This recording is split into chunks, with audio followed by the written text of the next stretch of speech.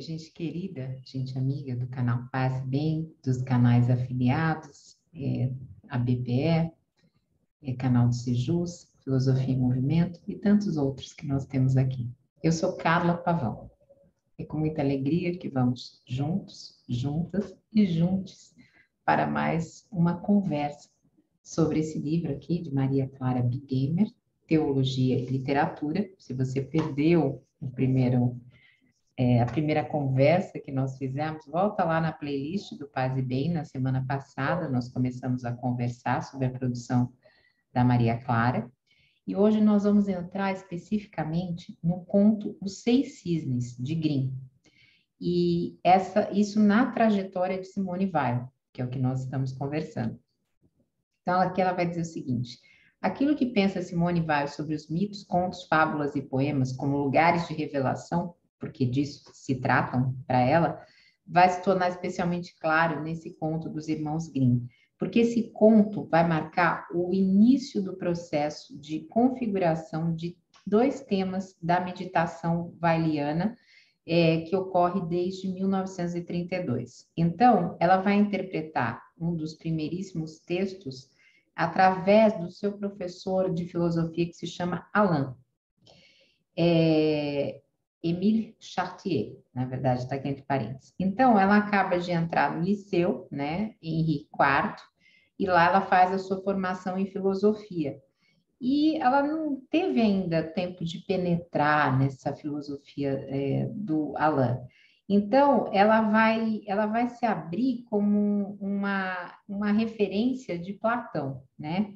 Então, entre os mais belos pensamentos de Platão estão aqueles que ele encontrou pela meditação dos mitos, é o que se diz aqui. Então, esta é a primeira frase das obras de Simone Weil e que vai surpreender e vai desenvolver depois os seus escritos. Então, também escolhi esse texto porque nós espíritas também estamos ligados a vários pensamentos, ligados a vários pensamentos de Platão. Então, é, a partir disso é que eu escolhi a Simone para falar desses pontos. Então, é, o que, que ela vai dizer? É, ela vai dizer o seguinte: é, quem conhece os, os, escritos né, da Simone, então é, Platão é o autor que a acompanhará durante toda a sua vida e que ela não cessará de aprofundar, declarando o primeiro dos místicos. Olha que bonito isso. E para nós espíritas é tão importante tudo aquilo que Platão trouxe. Então, Platão de Simone Weil, é, ele é ele é o contrário do de Hegel, porque ele vai se apoiar nos mitos. E ela vai continuar, ela vai dizer o seguinte: quer saber se nossos mitos também ah, não haveria ideias a extrair? Quem sabe de nossos mitos também não haveria ideias a extrair? Então, foi isso que ela fez. Ela foi meditando durante a sua vida e foi é, comentando aquilo que ela chamava de civilizações inspiradoras, a Grécia, a Índia e assim por diante. Então, ela vai comentar sobre esses mitos e esses países de 1940 a 1941. Então, o mito, o mito, na verdade, é o que? É o símbolo, né? Que nós estamos conversando sobre esse símbolo. Então, o símbolo dá o que pensar. Então, na meditação da Simone Weil, tem é, uma hermenêutica atrás da porta para Maria Clara Bingamer, que é construir um discurso sobre essa realidade mística. Gente, só um minuto, porque eu peguei uma rinite aqui muito forte e de vez em quando eu tenho que dar um jeitinho aqui. Me desculpem, não é muito elegante, mas é o que temos. Então, ela vai dizer o seguinte: é, então, este conto dos irmãos Grimm, ele, ele retorna a muitas ocasiões da vida da Simone, né? Então, ele estará no coração da sua antropologia. E, e ele vai, e, onde só se recebe o bem de fora, o bem do outro. E esta postura existencial permite a disponibilidade ao bem, que será por ela chamada de ação não agente. Então, a disponibilidade ao bem se chama ação não agente. E será uma das mais importantes categorias do seu pensamento. Então, todo o germe da teologia, é, da teologia filosófica desenvolvida nos seus cadernos, nos seus cahiers, a, a, imagem de uma renúncia de Deus, que é o kenosis, que se retirou para que o mundo seja e que vem encontrar sua criatura para salvá-la, né? Nós espíritas não somos salvacionistas, mas nós estamos tratando aqui da ótica da Simone. Então, a leitura do mito já é, portanto, em Simone de é, Weil, é, o homem se transformando em cisne, né, em animal, ele se separa de Deus, que parte em seu encalço para buscá-lo. É Deus quem busca o homem, e não o inverso, e o salva do último momento. Olha que bonito isso. A salvação vai ser queimada no mesmo instante em que se produz, e ela se dá por intermédio do mediador, que nesse caso é a menina silenciosa, filha do rei, irmã dos homens, figura transparente crística. A aproximação que Simone faz entre Grimm e o pensamento oriental é o início de sua hermenêutica da cultura aqui anunciada. É, então, a única força deste mundo é a pureza. Tudo que é sem mistura é um pedaço de verdade, dirá ela. Então, com efeito, na escala de valores, a intenção e a atenção pode se substituir o esforço da vontade e do talento. O perfil da verdade perseguido por Simone não coincide com as verdades ideológicas das religiões e das igrejas. Veja isso, há uma ruptura, né? Mas com uma luz que mata a sede da alma e sem a qual viver é um sofrimento insuportável. Na sua concepção, os elementos constitutivos da verdade são a beleza, a pureza e a probidade. Que bonito isso, né? Então, é o sinal desta conversão da alma é, é que é o seu é, comentário sobre o conto dos seis cisnes de Grimm, redigido então aos 16 anos de idade, veja que precoce. E vai ser a salvação dos irmãos transformadas pelo malefício em cisnes, não decorre do esforço pessoal ou da capacidade de realizar grandes feitos, mas sim do amor da irmã que supera e costura pacientemente as camisas. Né? Que bonito isso. Então, essa ideia vai se conectar com uma parte muito profunda do pensamento oriental. É, nunca é difícil agir. Nós agimos até demais e nos desesperamos sem cessar em ações ordenadas, desordenadas. A gente vê isso o tempo todo, né? Então, fazer seis camisas com anêmonas é o nosso único meio para adquirir forças. A força nesse mundo é a pureza. Que bonito. O silêncio, a espera imóvel, a virtude eficaz, mais tarde reconhecida como humildade, segundo a Maria Clara, a pureza, a beleza do amor, Deus que vem em busca do homem, toda a doutrina do homem, do mundo, de Deus desenvolvida em seus últimos anos, de 1940 a 1943, estão presentes como germe nesse texto que ela produz aos 16 anos e que se torna fundamental para compreender a sua experiência teológica, teologal, como diz aqui a Maria Clara. Então, a maneira de conceber o homem, o humano, em todas as suas dimensões, está expressa aí, nessa pureza, nessa beleza, né, em tudo isso que nós estamos falando aqui. É, e esse ensaio, redigido por ela em Londres, em 1943, é, depois para os serviços da direção do interior da França Livre, e que é reconhecido como título La Personne et le Sacré. Acho que é assim que fala, gente. Se inicia por um estudo semântico da pessoa. Então, fala de si, empregando o, o, o empregando o minha pessoa. Então, ela coloca uma distância entre a origem dessa palavra e o que é manifestado no sentido fenomen... Ops, fenomenológico do termo, no sentido no qual aparece no espaço público, daquilo que eu sou.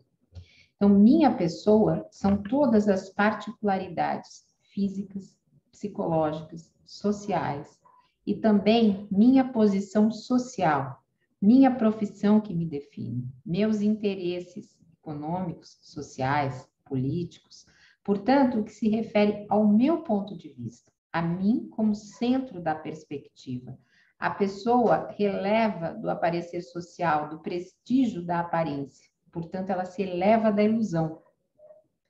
Daquilo que Simone Weil chama por vezes de vestimenta.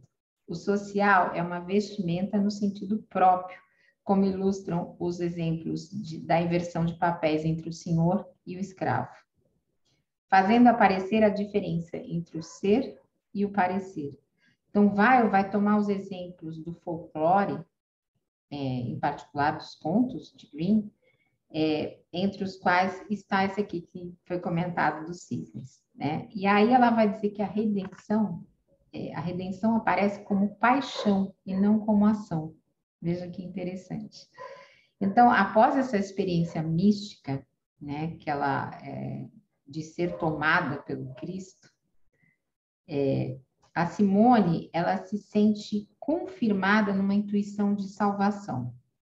E, e, essa, isso daí vai passar muito mais pela paixão do que pela ação. Então, o personagem da menina, de Green, em silêncio, esperando e sofrendo acusações e insultos, vai ser um, um protótipo da sua experiência de Deus e do seu desejo. Da Simone, né, que nós estamos falando. Então, ela vai ter um texto de Marcélia intitulado Deus em Platão, que Simone vai expor sua compreensão das palavras de relação da alma com Deus nos principais diálogos de Platão. E nós, é, a Maria Clara vai resumir isso em três etapas. Então, ela vai dizer o seguinte: que o primeiro momento ela se opõe categoricamente a duas morais, uma pertencendo apenas a este mundo da ordem da virtude e da recompensa aparente na sociedade, outra sobrenatural, no sentido que visa uma salvação da alma e um bem puro, radicalmente transcendentes em relação ao social. Tal atitude leva a preferir suportar o mal a cometê-lo. E é novamente simbolizada pela imagem do justo crucificado de A República de Platão. O justo crucificado, assim como o Prometeu de Ésquilo, deve ser reconhecido como uma figura profética do Cristo preferindo, como ele, o sofrimento à nudez da morte. A condenação pelos homens, o aparente abandono por Deus, a aceitação do mal. Essa ruptura de todas as amarras terrestres, segundo a Maria Clara, nos remete a São João da Cruz, e leva à conclusão de que se a justiça exige que durante esta vida fiquemos nus e mortos, é evidente que é algo sobrenatural, impossível para a natureza humana. Então, ela vai falar numa cultura de Vaio, a Maria Clara, que é esse pensamento segundo o qual todas as formas concretas de uma cultura autêntica são é, canais ou intermediários da graça que aparece aí claramente. Então, o ser humano não pode produzir, como também não pode dar a si mesmo o ser. Tem que esperá-lo, cheio de atenção, a fim de não deixá-lo passar e extrair dele todos os tesouros que carrega. Mas, para isso, a atenção e a humildade e silente espera a ação não atuante, não agente é condição fundamental. Então, uma, uma coisa bastante de espera, né, daquele momento. Então, a Simone, ela experimenta isso durante a sua vida, né? A parte da sua experiência mística desse encontro com o Cristo está nessa centralidade da cruz, né? Sempre presente em sua vida e que é, e que passa a ter o nome de, de Jesus Cristo para ela em determinado momento. Então, desde o seu encontro explícito com a fé cristã, esse Cristo se revela a Simone com a sua face crucificada. Jamais ela vai dissociar da pessoa de Jesus Cristo é, a, a sua paixão. Ela não consegue, porque para ela crer está sempre ligada à paixão salvadora do Filho de Deus. Então, nós vamos encontrar bastante ressonância paulina, aqui, segundo a Maria Clara, é, nessa experiência da Simone, é, porque, assim como o apóstolo, a Simone, é, uma vez possuída pelo Cristo, ela não quer saber de outra coisa a não ser de Jesus e este crucificado. E para ela, coisa que é, E para ela, a cruz é a prova da divindade de Jesus, da encarnação de Deus e não da sua ressurreição. Então, eu vou ler um texto aqui dela. Ó. Se o Evangelho omitisse toda a menção da ressurreição de Cristo, a fé me seria mais fácil. A cruz apenas me basta. A prova para mim, a coisa verdadeira miraculosa, a perfeita beleza dos relatos da paixão, juntamente com algumas palavras fulgurantes de Isaías. Injuriado, maltratado, ele não abriu a boca. De São Paulo. Ele não olhou a igualdade com Deus como algo a que aferrasse. Ele se esvaziou, ele se fez obediente até a morte e a morte da cruz. Ele foi feito maldição. É isto que me constrange a crer. Bonito, né? Então, parece que ser esse doce constrangimento se revelou desde que da juventude para Simone, quando esse Cristo é, se apresentou nos mitos, né? Por exemplo, da jovem Ilíada. Quem nos recomenda muito ler a Ilíada e Odisseia, que me lembrou agora, é o, é o, o nosso amigo Alisson Mascaro. Ele sempre recomenda ler. Eu ainda não li, mas lerei, gente. É, então, ela vai falar nos mitos. Então, é, ele apresentou-se na face dos mitos do jovem que na Ilíada vai contra sua vontade para o Hades, nos mitos de Prometeu, na Antígona, de Electra, mas muito especialmente na figura da menina do conto de Grimm, cuja ação, não agente silenciosa, persistente e firme, sofredora e paciente, será a única via de salvação para os irmãos enfeitiçados e vítimas das artes do mal e da maldade. Com isso, nós vamos chegando à conclusão. Então, na leitura feita por Simone deste conto, nós podemos ver um aspecto importante e fundamental da teologia e da literatura, é, como berço de tudo isso. Né? Tem uma narrativa literária, né? uma narrativa de mito, de fábula, de conto, que fala sempre sobre a condição e a experiência humanas, atingindo o centro da pessoa, para fazer emergir aquilo que ali está semeado e marcado como selo, a imagem e semelhança de Deus. Que a partir daquela leitura fará emergir uma fulguração, um lampejo, um luminoso sinal de mistério desejado. Então, essa fulguração tocará os olhos do leitor e, falar de, e falará dele um buscador do mistério. Que bonito isso, né? E é, na filosofia né, de Alain, a menina Simone sentiu-se atraída pelo, pelo personagem e o conto tornou forma própria dela. Então, em tempos de secularização, quando o discurso religioso e teológico aparece, parecem ter perdido boa parte de sua capacidade de ressonância nos corações e nas mentes das pessoas, a leitura é uma via fértil e adequada para permitir o acesso a esse mistério. Muitas vezes a gente não consegue rezar, não é verdade? A gente está meio que bloqueada, então essa leitura pode nos permitir isso e esse redespertar para Deus.